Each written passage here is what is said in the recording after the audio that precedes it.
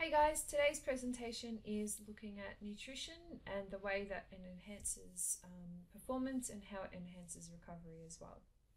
So first of all, um, when we look at nutrition, there's a few basic needs that everyone has. So there's carbs, fats and proteins, which are the energy. Then you've got vitamins and minerals, which um, help with body functions. And then you've got water and fiber as well, which are supplements. So today we're just going to have a look at the first three. So the first three um, energy fuels.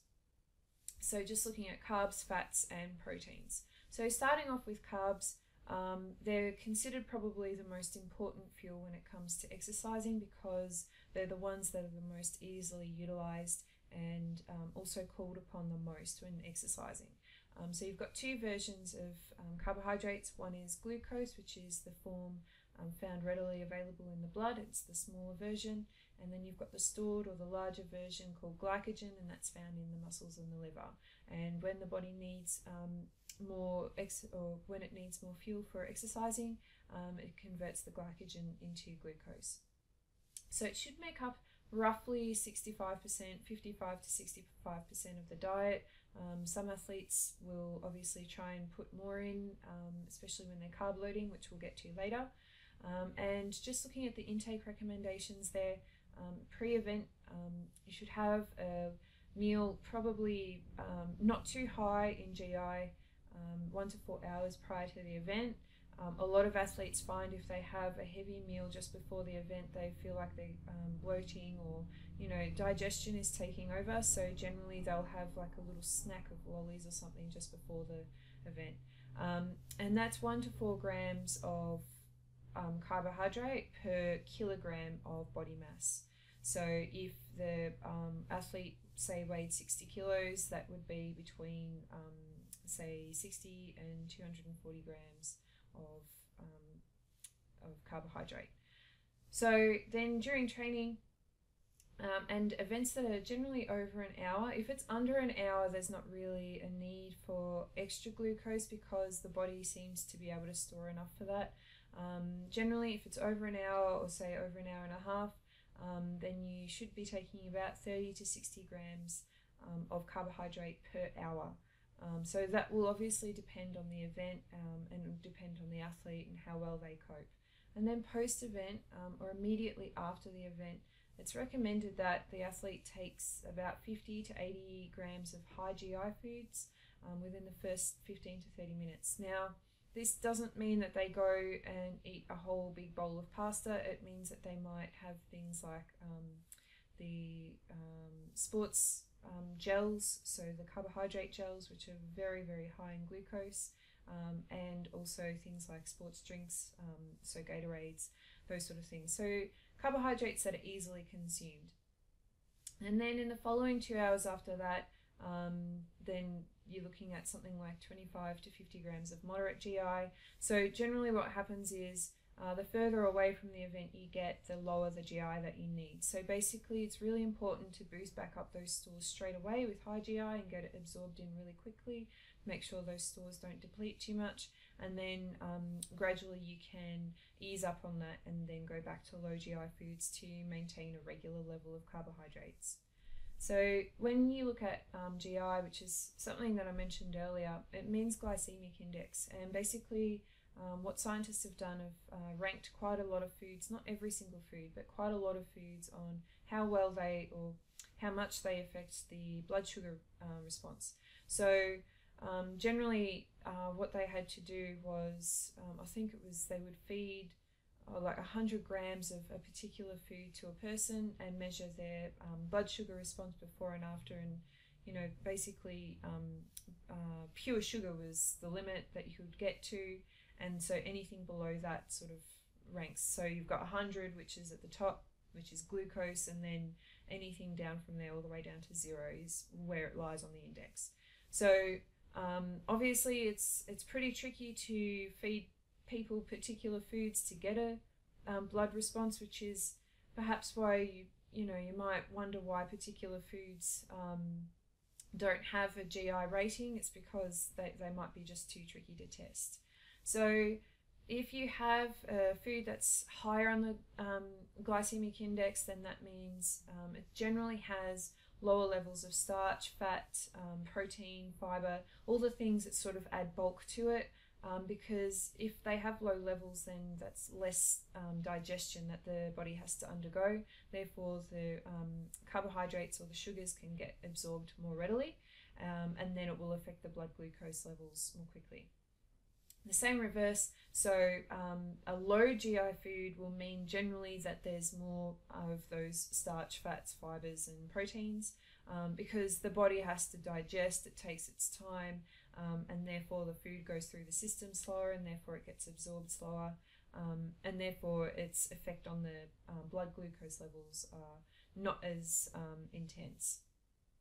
So, um, when an athlete considers GI in terms of their diet, um, they'd be looking at benefiting from high GI foods immediately after the event and also during because that um, is enabling the glucose to get into the bloodstream as quickly as possible and then they can use it as fast as they need to for their event.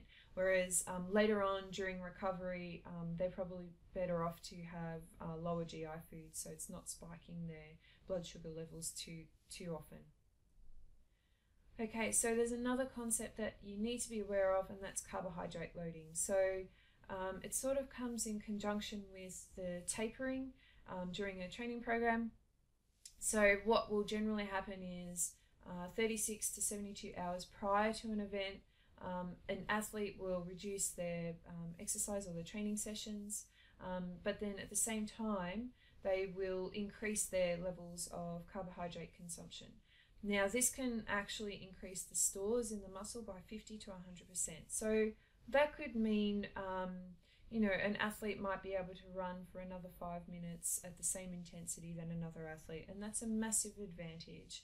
Um, a lot of these um, nutritional, um, I suppose, strategies they they usually only make um, differences, say between 0 and 10% difference to an athlete, but that's always just enough to win a race if the other athlete has done exactly the same preparation but has minus a particular strategy. Um, now, with carbohydrate loading, it's really um, probably more beneficial for athletes who do events over 90 minutes. So, those who are doing mar- marathons, um, triathlons, cycling events, Tour de France, those sort of things.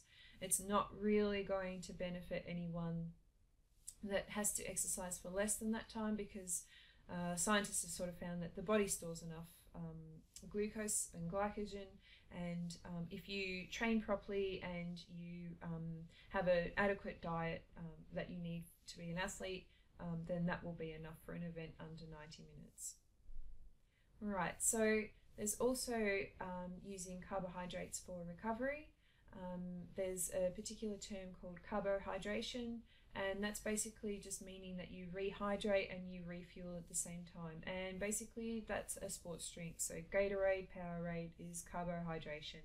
Um, it's nothing new, and basically, they find that um, if you have water and carbohydrates at the same time, so in the form of a sports drink plus some electrolytes, uh, you tend to increase your chances of um, or increase the ability to rehydrate, and also the fuel gets in a bit more easily.